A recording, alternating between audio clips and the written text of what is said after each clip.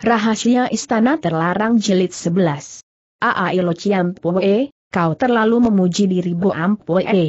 Haa, haa, seirama hidup aku si pengemis tua tak pernah memuji orang, hanya saja dalam keadaan kacau semacam ini aku harus mohon bantuan bagi umat-umat bulim yang menderita.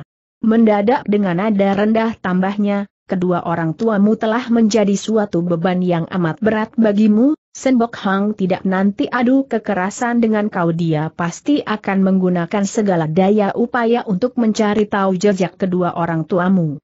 Saudara Xiao aku si pengemis tua rela menggunakan sisa umurku untuk membantu dirimu, asalkan saja kau pun punya kepandaian untuk memikul tanggung jawab berarti ini, Xiao Ling dapat menangkap part lain daripada kata-kata tersebut, untuk beberapa saat lamanya ia bungkam dalam seribu bahasa. Si Siepoa Mas Seng Pat yang selama ini tidak ikut bicara, tiba-tiba menimbrungnya dari samping. Cai Hai telah mendapatkan suatu tempat terpencil yang mungkin bisa terlepas dari pengamatan Matu-Matu Senbok Hang. Di mana? Tempat itu letaknya di tengah laut selatan dan merupakan sebuah pulau kosong yang dikelilingi oleh samudera luas bukan saja tempat aman bahkan pemandangan alam sangat indah. Seandainya Kiem Lan serta Giolan suka menemani kedua orang tua itu mengasingkan diri di sana, kemungkinan besar Senbok Hang tidak akan berhasil mengejar mereka. Titik. Tidak bisa jadi, seru Sun Putsia menyatakan ketidaksetujuannya. Penduduk yang berdiam di atas pulau kosong itu cuma beberapa puluh keluarga saja seandainya kedua orang tua itu tiba di atas pulau tersebut kedatangannya pasti akan menggemparkan seluruh pulau kabar berita ini lambat laun pasti akan tersiar juga ke daratan Tionggoan. Iseng Pet termenung kemudian mengangguk LK. Ucapan Lo Chiampo ada benarnya juga, kita harus mencari suatu tempat terpencil yang sama sekali tidak berpenghuni itu pun salah besar. Tempat yang harus kita cari adalah suatu tempat yang bisa melegakan hati saudara Xiao, agar dengan demikian saudara Xiao tak usah cabangkan pikirannya lagi untuk merisaukan persoalan itu. Aai Xiao Ling menghela napas yang sungguh tak nyana di kolong langit yang begitu luas. Ternyata aku Xiao Ling telah menyusahkan kedua orang tuaku sehingga tiada tempat untuk berteduh. Toako kau tak usah sedih. Persoalan ini biar kita pikirkan perlahan-lahan saja, suatu saat kita pasti akan berhasil mendapatkan suatu tempat yang bisa melegakan hati Toaku. Sementara pembicaraan itu sedang berlangsung, tiba-tiba terdengar suara derap kaki kuda berkumandang datang. Cepat bersembunyi ke balik semak bisik Sun Putsia sambil meloncat ke sisi jalan tampaklah dua ekor kuda laksana kilat cepatnya meluncur datang ke arah Mirka berada. Terdengar orang yang berada di kuda sebelah depan mengomel, kita sudah melakukan perjalanan selama sehari semalam namun sedikit kabar pun belum ada, aku lihat kita pasti telah salah ambil jalan. Tong Heng. Legakan hatimu, jawab orang kedua.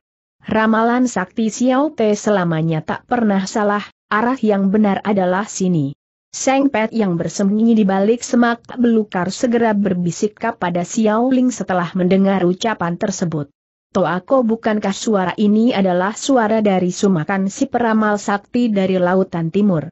HMM, memang mirip suaranya tapi biarlah mereka mendekat lebih jauh dulu baru kita bicarakan lagi.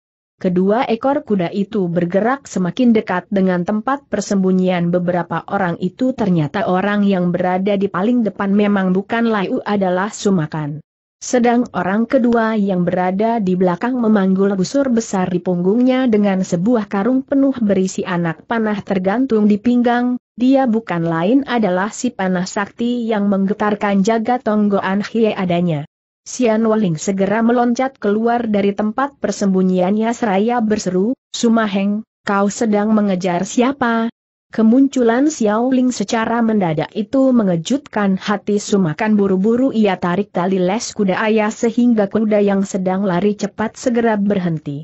Aha, Xiao Heng aku sedang mencari kau sahutnya sambil loncat turun dari pelana ia lari menghampiri si anak muda itu mencekal tangannya dan berseru kembali, Oh sungguh payah mencari kalian. Tidak menanti Xiao Ling menjawab kembali ia berpaling ke arah Tonggoan Hiei sambil berseru, Tong Heng, bagaimana dengan ramalan sakti Sianute? Sungguh luar biasa sekali. Si pemanah sakti yang menggetarkan jagat itu pun meloncat turun dari atas kuda, berjalan ke arah Xiao Ling dan berkata kembali setelah menjura dalam-dalam. Sejak Beco Piao Pacu menderita luka parah, ia telah menyanjung diri Xiao Heng, katanya. Seandainya kita inginkan umat bulim lolos dari penjagalan sadis yang telah melanda sungai telaga saat ini, maka kita harus mengangkat Xiao Heng sebagai pemimpin bulim. Bagaimana keadaan luka dari Bepiao Pacu tukas Xiao Ling dengan hati cemas. Walaupun lukanya amat parah, namun berkat pertolongan dari Bu Yeto Tiang itu Seng Chiang Bunjien dari Bu Tong Pei, jiwanya berhasil diselamatkan. Aaai, Orang budiman selalu dilindungi Tian, semoga kesehatannya lekas pulih kembali seperti sedia kala. Xiao Heng, apakah kau tidak berada sama-sama Tiong Chiu yang kutanya sumakan? Sepasang pedagang dari Tiong Chiu berada di sini seru Seng Pat sambil membimbing Tu Kiu bangun berdiri. Bagus sekali, bagus sekali, teriak sumakan kegirangan, setelah memperhatikan Cui sekalian sehat walafiat Xiao Te pun dapat mempertanggungjawabkan diri kepada mereka. Mempertanggungjawabkan apa? Para Biong Hohan sama-sama menguatirkan keselamatan kalian berdua sedang Xiao Tengotot bilang kalian sehat semua. Seandainya kamu berdua mendapat celaka, bukankah para Hiong Hohan yang ada di kolong langit akan mentertawakan ramalan dari aku orang Shisuma tidak cocok? Meski Xiao Te tidak mati, namun luka tidak ringan. Mendadak. Seng Pet teringat kembali akan si pencuri sakti Xiang Wiye, buru-buru tanyanya bagaimana keadaan dari pencuri tua itu. Luka yang diderita Xiang Heng rada enteng, ia sudah dapat bergerak seperti sedia kala. Sekarang mereka berada di mana Selasun Putsia sambil perlahan-lahan menampilkan diri, seraya turun dari kuda, serunya kepada Tukiu, Tuheng, silahkan naik ke atas kuda untuk melanjutkan perjalanan. Xiao Ling yang menyaksikan tingkah laku orang itu dalam hati merasa tercengang, pikirnya, ketika pertama kali aku berjumpa dengan orang ini sikapnya angkuh dan dingin, sedikit pun tidak pandang sebelah mata kepada orang lain, mengapa sikapnya pada saat ini bisa berubah jadi begitu hangat dan ramah? Sungguh aneh. Terdengar Seng Pet telah berseru, LDOJ, naiklah ke atas kuda setelah si tukang ramal mengalah kepada kita, tidak seharusnya kita tolak tawaran baiknya itu kalau begitu terpaksa aku harus merepotkan dirimu, kata Tukiu dingin sambil melangkah maju dengan langkah lebar. Tu Heng sedang terluka, sudah sepantasnya kalau Xiao Te berikan kuda ini kepadamu.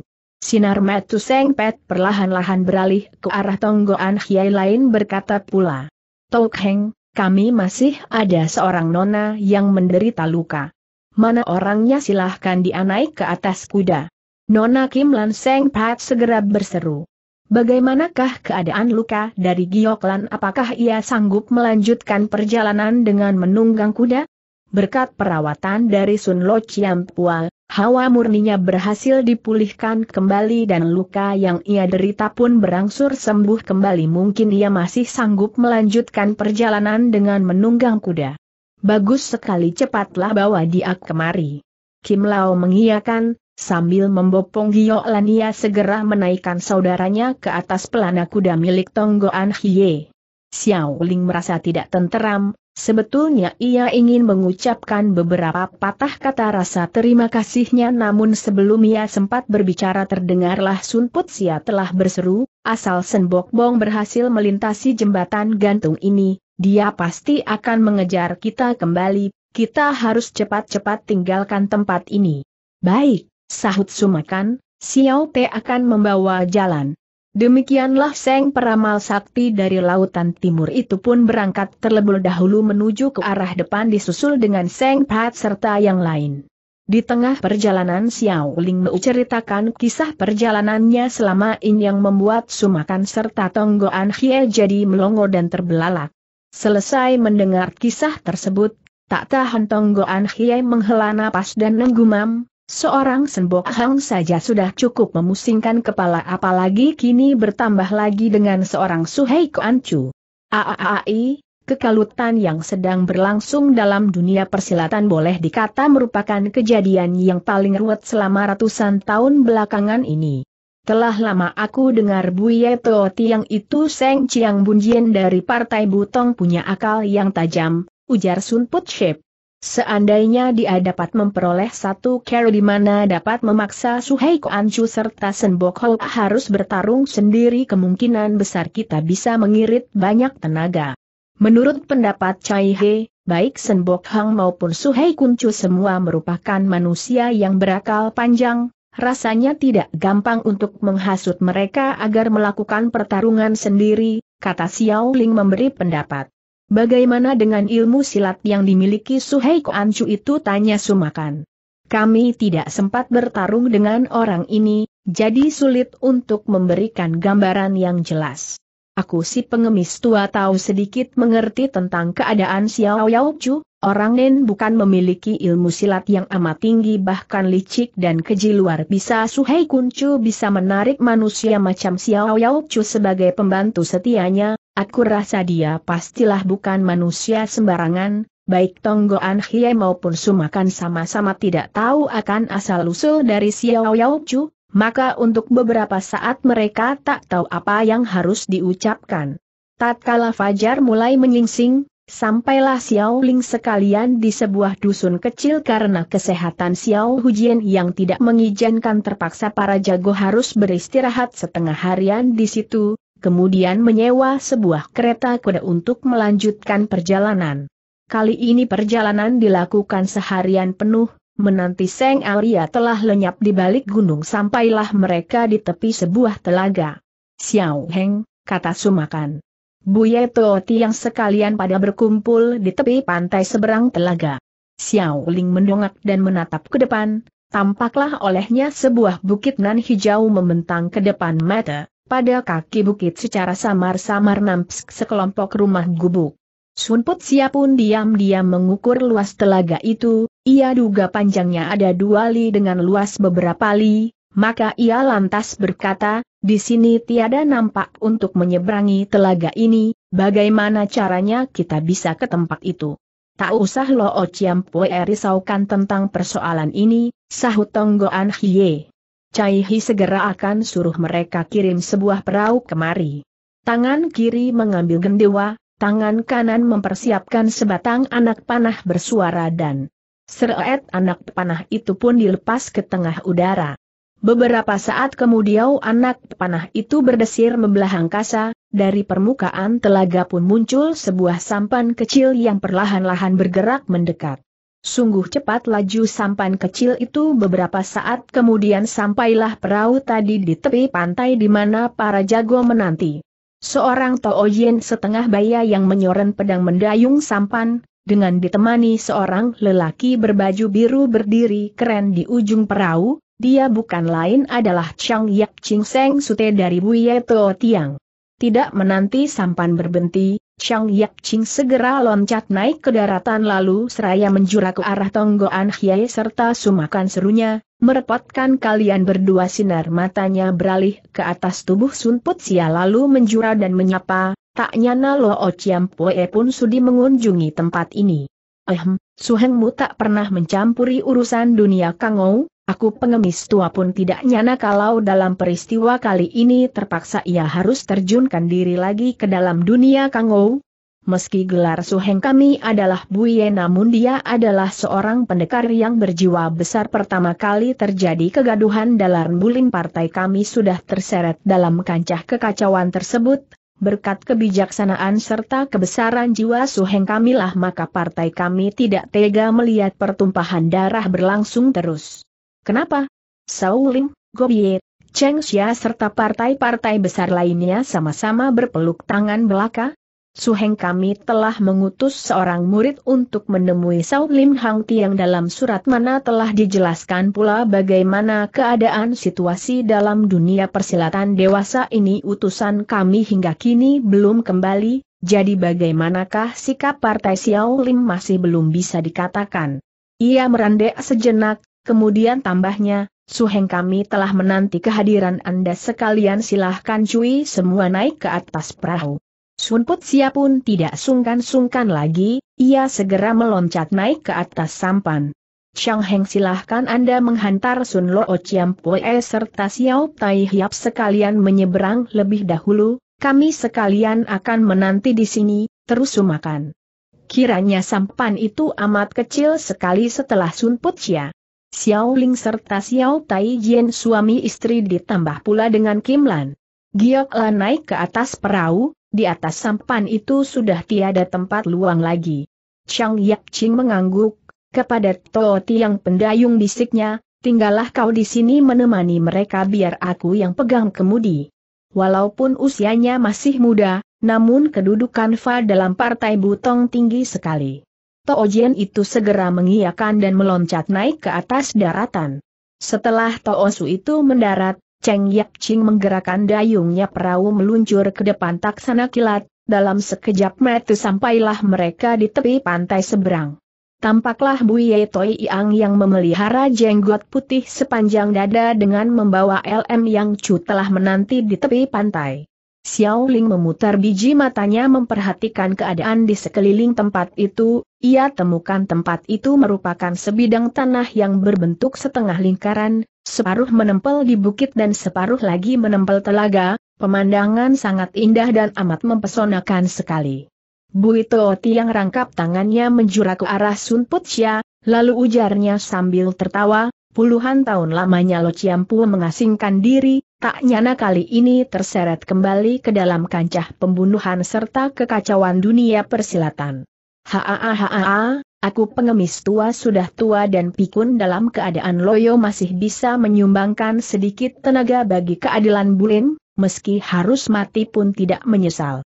Xiao Ling yang teringat kembali akan Beli Buye Tooti yang di mana pernah membantu dirinya, buru-buru maju ke depan memberi hormat dan menyapa, Bo Ampu Xiao Ling menghunjuk hormat kepada Too Tiang. Xiao Tai Hiap kini kau telah menjadi orang yang paling dihormati oleh setiap umat buling, Plincel beruntung telah kenal dirimu sejak dulu tak usah banyak adat. Aaai, aku orang Xiao masih muda dan tolol budi serta kemampuan apa yang dimiliki pujian dari Toh Tiang malahan membuat Bo Ampu jadi malu. Buye Tooti yang tersenyum ia menoleh memandang sekejap ke arah Im Yang Chu lalu berkata, JT, wakililah Xiao Heng untuk menyambut para Enghiong.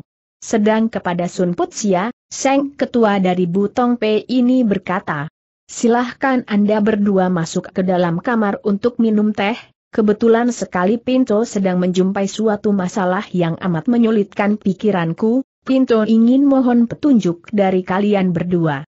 Sementara itu tampak dua orang Toojien setengah baya tampil ke depan menyambut kedatangan Xiao Tai suami istri, Kiem Lan serta Giok Lan untuk diantar masuk ke salah satu gubuk. Sedangkan Xiao Ling serta Sun Putia mengikuti di belakang Buye Tooti yang masuk ke dalam gubuk yang lain. Perabot dalam gubuk itu amat sederhana sekali, kecuali sebuah dipan, sebuah meja hanya tampak beberapa buah kursi bambu belaka, Meski demikian keadaan ruangan itu amat bersih. Seorang Toosu cilik berwajah cakep segera munculkan diri uut menghidangkan air teh. Sun Putsia adalah seorang jago tua yang sudah lama mencicipi asam garam, namun begitu wataknya tetap berangasan terdengar ia berseru dengan nada gelisah, Too Tiang, persoalan apa yang sedang kau hadapi cepat utarakan, aku si pengemis tua sudah tidak sabar menunggu lagi. Buye Tiang tidak langsung menjawab, ia ulapkan tangannya mengundurkan Toosu Citik Tadat kemudian mengunci pintu ruangan rapat-rapat. Menyaksikan tingkah laku Toosu tua tersebut, dalam hati Sun Putsya merasa tercengang, pikirnya, ah tanda seru kalau dilihat tingkah laku sehidung korban ini, rupanya persoalan yang terjadi amat rahasia sekali. Sementara itu terdengar Buye Tiang menghela napas ringan lalu berkata, Peristiwa ini berlangsung amat mendadak sehingga Pinto sendiri pun dibikin kebingungan setengah menti. Seandainya hari ini Xiao Tai Hiap tidak datang mungkin malam nanti di tempat ini bakai terjadi suatu pertumpahan darah yang mengerikan. Apakah peristiwa tersebut ada sangkut pautnya dengan Bo Ampu tanya Xiao Ling tercengang. Sedikit pun tidak salah, orang itu datang kemari dengan maksud mencari Xiao Tai Hiap. Siapakah orang itu? Pak Tian Chun Chu dari Istana Es. Apa gembong iblis tua itu pun telah hadir di atas daratan Tionggoan selasun Put Shia dengan wajah berubah. Benar, kini ia benda kurang lebih sepuluh li di sekitar sini. Meskipun iblis tersebut berdiam jauh di istana es yang terletak di lautan utara yang jarang sekali mengunjungi daratan Tionggoan, namun beritanya amat tajam sekali, terhadap situasi bulim yang sedang berlangsung dewasa ini ia tahu bagaikan melihat jari tangan sendiri. Apakah gembok iblis itu telah bersekongkol dengan Senbok Hang untuk menciptakan badai pembunuh berdarah di atas daratan Tionggoan selaseng pengemis? Dengau cepat Buye Tiang menggeleng. Pak Tian Cucu adalah seorang jago yang tinggi hati, mana ia sudi bersekongkol dengan manusia sebangsa Senbok Hang lagi pula selama ini ia tidak punya ambiai untuk merajai bulim. Kalau begitu ia datang kemari khusus untuk mencari Satroai dengan Xiao Ling pribadi? Sedikit pun tidak salah. Sinar mata, Toosu tua dari Butong P ini perlahan-lahan menatap wajah Xiao Ling, lalu sambungnya. Xiao Tai Tayep, harap kau jangan marah. Meski Pinto sendiri pun sadar bahwa di balik peristiwa ini pasti telah terjadi salah paham, namun bagaimana juga aku harus terangkan duduknya perkara.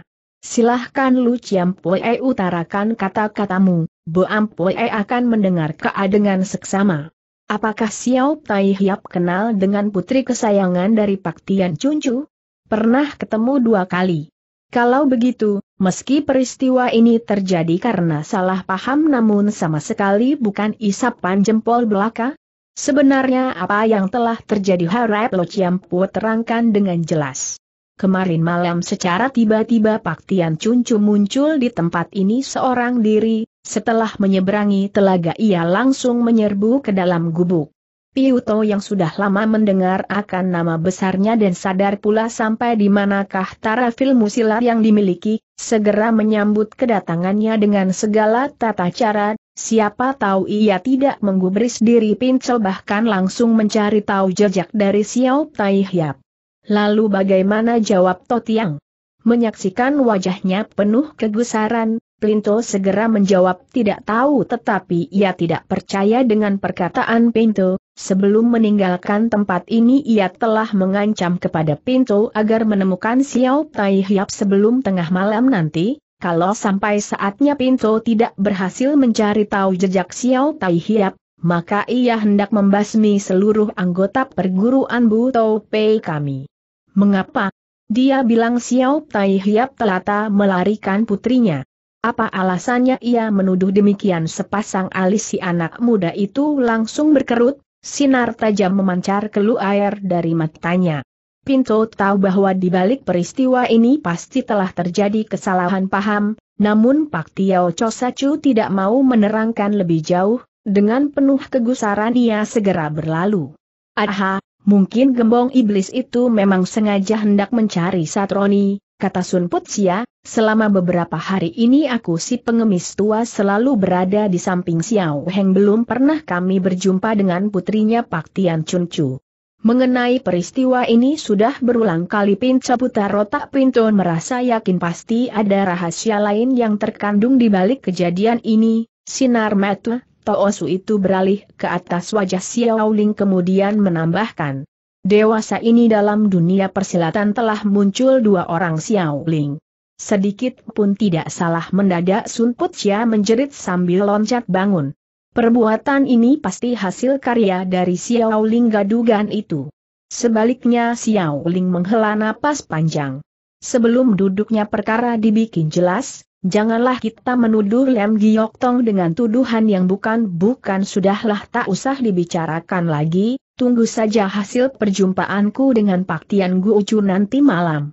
Kalan dilihat dari situasi saat ini, rasanya Care itu memang paling cepat, sampai waktunya biarlah Pinto serta Sun Lo Chiam Poe menemani kau untuk berjumpa dengan dia, dengan begitu seandainya sampai terjadi pertarungan kami pun bisa memberi bantuan. Jejak Bo Ampue tiada yang dirahasiakan Bo Ampue tidak takut dituduh dengan tuduhan yang bukan-bukan. Walaupun begitu, namun Pak Tian Cucu adalah seorang manusia yang berwatak tinggi hati, aku takut kalau ia tak sudi mendengarkan penjelasanmu. Kalau ia memaksa terus apa boleh buat terpaksa akan kulayani kemauannya sampai di mana pun. Dari mulut orang, Buye Toti yang pernah mendengar tentang kegagahan Xiao Ling dikala ia bertempur melawan orang kerang dari perkampungan Pek Hoa Saucung, Meski demikian melihat usianya yang masih muda Toosu itu merasa ragu-ragu akau kemampuannya untuk melawan Paktian Bu Ucu, sebenarnya ia ingin mengucapkan beberapa patah kata nasihat, tapi secara mendadak pintu terbuka, dua Toosu cilik penjaga pintu pun melangkah masuk ke dalam ruangan sambil melapor. Jia Susyok beserta para jago telah tiba, mereka menanti di luar ruangan. Oh oh oh cuy sekalian silahkan masuk buru-buru Buye To Tiang bangun berdiri dan menyambut ke depan pintu. Dipimpin oleh Seng Pat yang berjalan paling depan, Tu Kiu.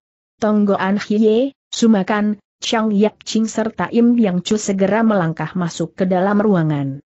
Su cilik muncul lu untuk menghidangkan air teh, dan para jago pun sama-sama ambil tempat duduknya masing-masing. Menanti suasana menjadi sunyi kembali. Sumakan segera menjura dan berkata sambil tertawa, Toh Tiang, berkat ilmu meramalku yang tepat akhirnya Xiao Te berhasil menemukan Xiao Tai Hiap sekalian, Cai He rasa Toh Ti yang tentu tidak merasa kecewa bukan. Merepotkan diri Sumaheng. Sinar mata, Toh tua ini beralih ke arah Tukiu, lalu tambahnya, bagaimana keadaan luka Tuheng apakah perlu beristirahat sejenak di ruang belakang? Tidak usah, Cai He masih sanggup mempertahankan diri. Wajah orang ini rupanya selalu dingin terus kendati berbicara dengan siapa pun terutama sekali nada suaranya bukan saja dingin bahkan ketus dan tidak enak didengar hal ini membuat setiap pendengar merasakan hatinya dijeri dan tidak enak. Bu Oti yang tidak tersinggung akan sikap orang itu ia malah tersenyum.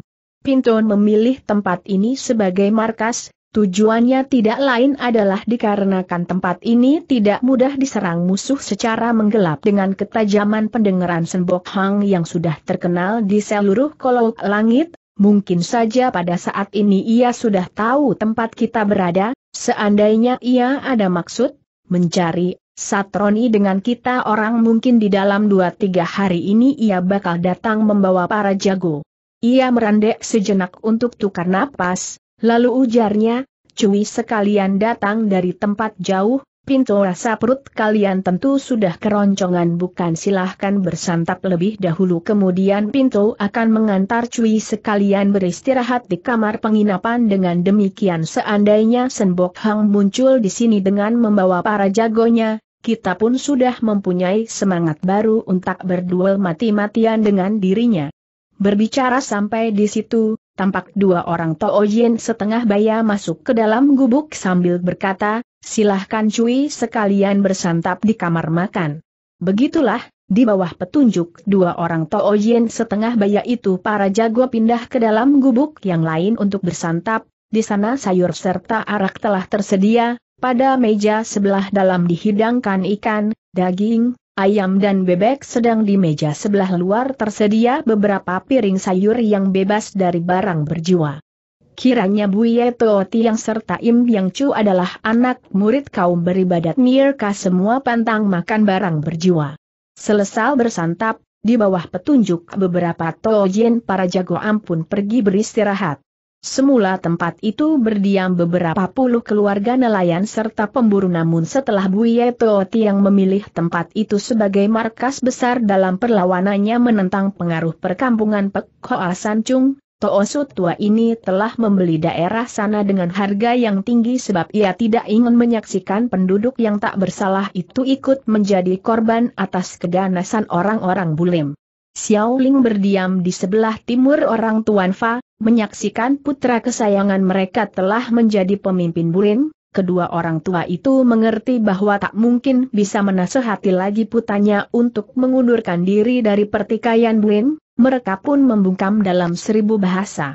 Meski demikian Xiao Hujian yang sangat menyayangi putranya setiap hari, setiap malam selalu menguatirkan keselamatan Xiao Ling, beberapa kali ia hendak menasehati putranya ini untuk mengundurkan diri dari dunia persilatan serta mencari tempat yang sunyi untuk hidup dengan perdamaian, namun setiap kali selalu dicegah oleh Xiao Taijin. Malam itu ketika kentongan kedua telah tiba diam-diam si Chuliak bangun dari tidurnya setelah beristirahat setengah harian semangat maupun tenaganya telah pulih kembali. Tatkala ia lihat kamar orang tuanya masih terang benderang oleh lampu, dalam hati segera pikirnya, aku Xiao Ling telah menyusahkan orang tua usia mereka sudah lanjut namun harus melakukan perjalanan jauh karena aku. Aaai sungguh kasihan mereka ini, sudah tengah malam begini pun mereka belum tidur, berpikir demikian tanpa terasa kakinya melangkah ke arah pintu, belum sempat ia mengingat pintu tiba-tiba terdengar suara ibunya berkumandang keluar dari ruangan. Aaai semula aku mengharapkan putraku hidup sebagai petani dan melewatkan masa hidupnya dengan penuh kedamaian, Justru karena Ling Jie terlalu pandai akhirnya beginilah jadinya, banyak persoalan menimpa dirinya, membuat aku siang malam harus menguatirkan keselamatan jiwanya.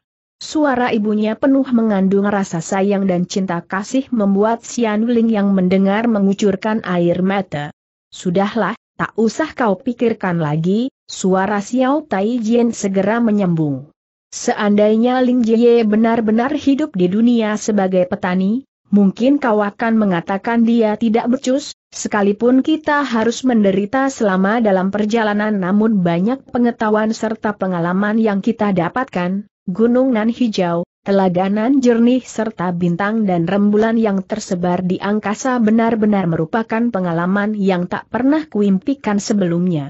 Sebagai ayah, kau sama sekali tidak memikirkan tentang keselamatan putra sendiri, teguh Xiao Hujian dengan gusar, setiap hari ia bergelimpangan di antara sambaran golok dan tombak, kau harus tahu golok dan tombak tiada bermata seandainya ia sampai terluka di tangan, musuh, bagaimana jadinya? Nanti, haa, haa, tentang soal ini, tak usahlah kau khawatirkan, sudah kulihat sendiri betapa lihainya kepandaian silat yang ia milik, sekalipun adalah seratus ribu orang pasukan berkuda dan hujan panah yang melanda jagat tidak nanti tubuhnya berhasil dilukai, coba kau lihat, usianya masih muda belia namun ia dihormati oleh para jaga para Hyong Hohan yang ada di dalam BNLLM, betapa terhormat kedudukannya saat ini, sebagai ayah aku merasa amat bangga mempunyai putra macam begini. Oh oh oh oh, bagus-bagus sekali, pandai benar kau puji perbuatannya itu, tidak aneh kalau wataknya begitu liar dan kasar, kau sebagai ayahnya pun begini. Andai kata Leng Jie tidak mempelajari serangkaian ilmu silat yang begitu sakti, Dapatkah ia hidup hingga detik ini masih sukar diramal? Kau tentu masih ingat bukan akan perkataan yang kusampaikan kepadamu dahulu, ia mengidap penyakit aneh sampai-sampai tabib kenama ampun dibikin kewalahan oleh sakitnya itu, paling banter ia cuma hidup sampai usia 20 tahun, karena itulah aku punya rencana untuk membawa ia pesiar ke mana-mana setelah usianya genap mencapai angka 10, agar tidak kecewa ia hidup di dunia. Sekalipun begitu, keadaan dahulu dan keadaan saat ini jauh berbeda, kini penyakit aneh yang diderita Ling Jie telah sembuh, apakah kau ngotot hendak mengatakan bahwa ia masih mengidap penyakit aneh? Ling Jie pun sudah lama mati karena penyakit anehnya yang diderita. Ling Jie yang ada sekarang bukanlah Ling Jie milik kita lagi. Aku yang melahirkan dia dan aku pula yang membesarkan dia, kalau bukan milikku milik siapa lagi tujuh? Haa, haa. Ling Jie yang kumiliki saat ini merupakan bintang penolong bagi umat bulim, mati hidup beribu-ribu orang terletak di atas bahunya, seandainya. Hujian tetap berhati egois dan memaksa Ling Jie untuk membuang kedudukannya sekarang dan masuk desa hidup sebagai petani, sebagai anak yang berbakti. Ling Jie pasti akan mengikuti permintaanmu itu, akhirnya kita memang mendapatkan kembali Ling Jie tapi umat Bulim jadi menderita, Berapa banyak ayah ibu bakal kehilangan putra kesayangan mereka, berapa banyak kaum istri yang bakal kehilangan suaminya dan berapa banyak anak yang bakal kehilangan orang tuanya. Aaai usia Ling Jie belum mencapai angka 20, begitu pentingkah dirinya bagi keselamatan umat manusia. Sekalipun usianya masih sangat muda, namun kepandaian silat yang dimilikinya telah mencapai pada puncak kesempurnaan, saat ini dia boleh dibilang terhitung sebagai jagoan lihai. Meskipun pertumpahan darah yang berlangsung kini menyangkut soal dendam sakit hati serta balas-membalas antara umat bulim sendiri, tapi akibat yang timbul karena pertumpahan darah ini kemungkinan besar akan menyeret pula para penduduk untuk ikut menderita, apakah kau cuma memikirkan keselamatan putramu belaka dan mengabaikan keselamatan orang lain seandainya jalan pikiranmu tetap begitu. Aaai apakah kau tidak merasa terlalu mementingkan diri sendiri? Xiao Ling yang mencuri dengar pembicaraan orang tuanya di luar jendela merasakan darah panasnya bergelora di dalam dada, semangatnya timbul kembali, tanpa pikir panjang ia segera putar badan dan menuju ke ruang tinggal Beo Tiang. Sementara itu Buye Tiang serta Sun Putsia telah menanti kedatangannya di luar ruangan, menyaksikan si anak muda itu muncul mereka segera maju menyambut. Bo Ampu telah datang terlambat. Harap Ciampu E berdua delapan uka memaafkan bisiknya lirih. Tepat sekali kedatanganmu saat ini, sahut Sun Putsia sambil memandang cuaca. Persoalan mengenai Pak Tian Chun Chu tidak ingin pintu sebarkan hingga diketahui para jago, kata Buye Tiang pula. Oleh sebab itu Pincau hanya mengajak Sun Heng seorang belaka untuk menemani Xiao Tai Hiap, di samping itu ada baiknya kita temui gembong iblis itu di pantai seberang saja, dengan begitu seandainya sampai terjadi pertempuran tidak sampai mengejutkan para jago. Ucapan Lo Chiam Pue tepat sekali ketika mereka tiba di tepi telaga, Chang Yak Ching dengan pakaian ringkas serta pedang tersoren telah menanti di atas sampan. Dari mana kau bisa tahu tegur Buyot Tiang dengan alis berkerut. Harap Su Heng suka memaafkan buru-buru Chang Yak Ching menjura. Sun Put Sia tertawa. Menurut penglihatan aku si pengemis tua, di kemudian hari sutemu ini bakal mengangkat nama partai butong kalian biarkan ya dia ikut untuk menambah pengetahuan. HMMM kalau, bukan Sun Lo Po yang mintakan ampun, saat ini juga kau sudah pasti telah kuusir dari atas sampan, Chen Yap Ching tersenyum. Terima kasih atas bantuan Lo Po katanya sambil menjura ke arah si pengemis. Sudah, tak usah banyak ada tayuh cepat berangkat.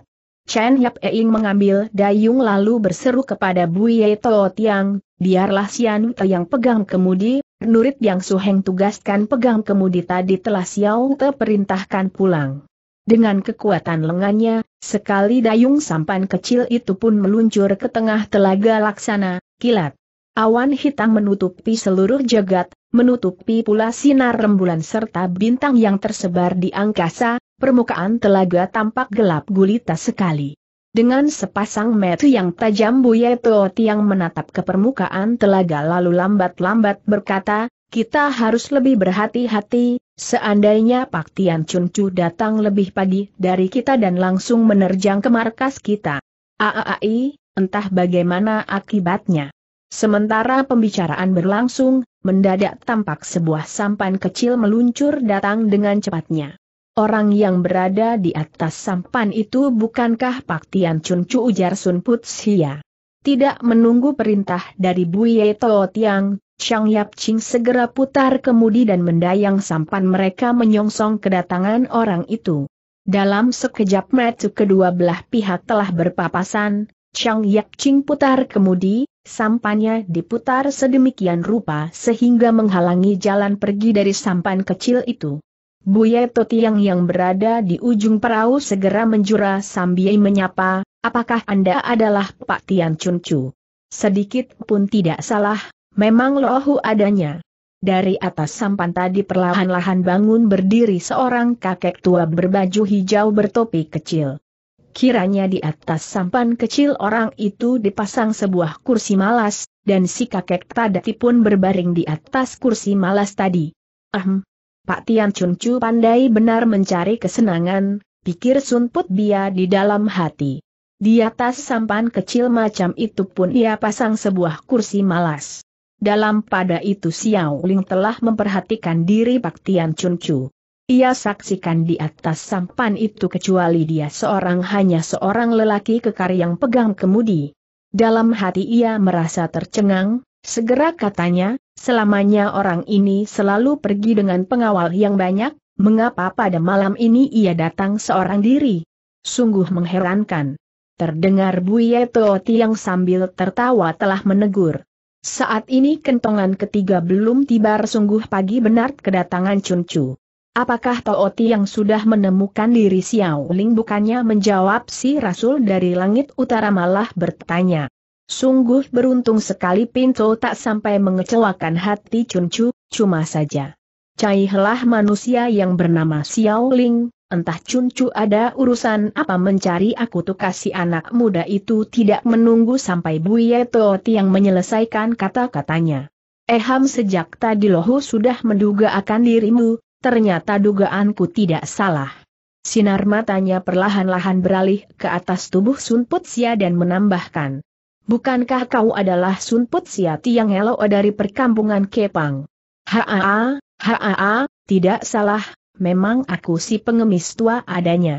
Sudah lama lau mendengar akan nama harumu, sungguh beruntung malam ini kita dapat saling berjumpa. Terima kasih titik terima kasih, Perlahan-lahan sinar mata Pak Tian Chun Chu beralih kembali ke atas wajah Xiao Ling. Sekarang Xiao Li berada di mana ia mi negur. Ke mana perginya putrimu, dari mana Cai Hai bisa tahu dengan seksama, seandainya nama Cai Hai yang ternoda hal ini masih mendingan. Seandainya nama putrimu lah yang ternoda, aaai, bagi dia kejadian ini benar benar merupakan suatu peristiwa yang menimbulkan hati. HMMM. Kalau bukan kau yang menculiknya lalu ke mana perginya putriku? Dari mana Cai Ha bisa tahu? Apakah kau sungguh, sungguh tidak tahu? Tegur Pak Tian Chun Chu kembali setelah berpikir sejenak. Tentu sungguh, apakah Cai Hai Sudi mengajak kau bergurau dalam menanggapi persoalan ini? Pak Tian Chur Chu termenung dan berpikir sebentar, kemudian ia berkata kembali, peduli kau atau bukan yang menculik putriku, selama putriku belum munculkan diri aku tetap menuduh kaulah yang melarikan. Coan Chu, perkataanmu sama sekali tidak tahan aturan sebenarnya apa maksudmu? Haa, haa, haa, di kolong langit dewasa ini, masih ada beberapa banyak manusia yang pantas membicarakan soal Cengli dengan diri Lok Ohu. Lalu menurut maksud Chos Chu, kau hendak menghukum aku orang Shisiao dengan cara apa? Sisnak muda ini sadar bahwa kepandaian silat yang dimiliki orang ini sangat lihai, dalam situasi yang serba kalut dan kacau macam ini ia tidak ingin menanam bibit permusuhan lagi dengan orang banyak. Oleh sebab itulah kendati dalam hati ia merasa sangat mendongkol hingga sukar ditahan namun ia berusaha keras untuk tetap bersabar. Lohu hendak membawa kau pergi dari sini, kata Pak Tian Chun Chu lagi. Putri Mutil pergi, sekalipun aku dibawa pergi pun percuma, seru Xiao Ling dengan nada tertegun. Lohu punya akal bagus. Seandainya akalmu ITN dapat membantu untuk mencari kembali putrimu, dengan senang hati aku orang Xiao kau membantu, tapi dapatkah Chun Chen jelaskan dahulu bagaimanakah rencanamu itu agar Cai He pun bisa pertimbangkan dengan seksama? Putriku pergi meninggalkan rumah sebabnya bukan lain adalah karena hendak mencari kau, asal Loohu bawa pergi dirimu kemudian mengumumkan kepada dunia bahwasanya Loohu berhasil menangkap Xiao Ling dalam sebulan kau akan kuhukum mati. Demi menolong jiwamu sebelum batas waktu sebulan habis putriku tentu akan pulang ke rumah. Hee, hee hee, suatu akal yang sangat bagus, jengek Sun Put Sia sambil tertawa dingin, hanya saja ada satu hal yang aku rasa kurang bagus. Bagaimana yang kurang bagus? Seandainya putrimu terlambat mendengar berita itu sehingga pulang lebih dari sebulan atau seandainya setelah mendengar kabar itu tapi tetap tak mau kembali, bagaimana tindakan Chun Chu terhadap diri Xiao Ling? seandainya tiada permohonan dari putriku, setiap perkataan yang telah Loohu utarakan tidak akan kurubah kembali. Ia merandek sejenak, kemudian terusnya, maksud tujuan Loohu dalam perjalananku ke daratan Tionggoan kali ini bukan lain adalah hendak mencari tahu di manakah kunci istana terlarang tersimpan, Siapa sangka putriku meninggalkan rumah tanpa pamit sehingga mengakibatkan pikiran Loohu. Kalut dan hati jadi sedih karena persoalan ini pula terpaksa masalah istana terlarang harus ku kesampingkan terlebih dulu. Jadi maksud Chuncu, seandainya dalam satu bulan kau tidak berhasil juga menemukan putrimu maka kau benar-benar akan menghukum mati diri Xianling? Sedikit pun tidak salah, oleh sebab itulah Loohu tidak mengerti bagian manakah yang kau maksudkan tidak bagus. Mendengar perkataan itu, darah panas dalam rongga dada Xiao Ling Kontan bergolak begitu hebatnya sampai sukar ditahan lagi, segera serunya, ada satu masalah mungkin Chun Chu telah lupa untuk memikirkannya. Persoalan apa? Chun Chu lupa bahwa aku Xiao Ling tidak nanti sudi menyerah kalah dengan begitu saja. Hee, hee, Hei, masa kau berani bergebrak melawan Lohu? Kenapa tidak berani? Bagaimana kalau di atas sampan kecil ini juga teriak Pak Tian Chun Cumarah? Mendengar tantangan itu Xiao Ling segera berpikir dalam hati, ia sudah lama berdiam di istana es yang terletak di samudra sebelah utara, kepandaiannya bermain dalam air tentu lihai sekali, aku tak boleh melayani tantangannya di atas tampan. Berpikir akan hal itu, ia tahan hawa amarahnya dan berkata, tempat ini terlalu kecil lagi sempit, apabila Cuncu ingin berduel lebih baik mencari tempat yang lebih luas saja. Baiklah ia ulapkan tangannya dan sampan kecil itu pun segera meluncur lebih dahulu ke arah pantai. Sun Putia melirik sekejap ke arah Buye Tiang, lalu berkata, ditinjau dari situasi yang terbentang di depan mata saat ini, Rupanya perdamaian tak bisa diharapkan lagi Bui Toi yang mengangguk mendadak tangan kirinya menekan ke bawah sehingga perahu sampan itu bergerak lambat menunggu Pak Tian Chun Chu sudah pergi jauh ia baru berbisik kepada Xiao Ling. Xiao Tai Hiap kepandaian silat yang dimiliki Pak Tian Chun Chu lihai sekali, benarkah Xiao Tai Hiap hendak bertempur melawan dirinya? Urusan sudah mendesak hingga mencapai puncaknya, meski Bo Ampu tidak ingin bertempur pun tak bisa.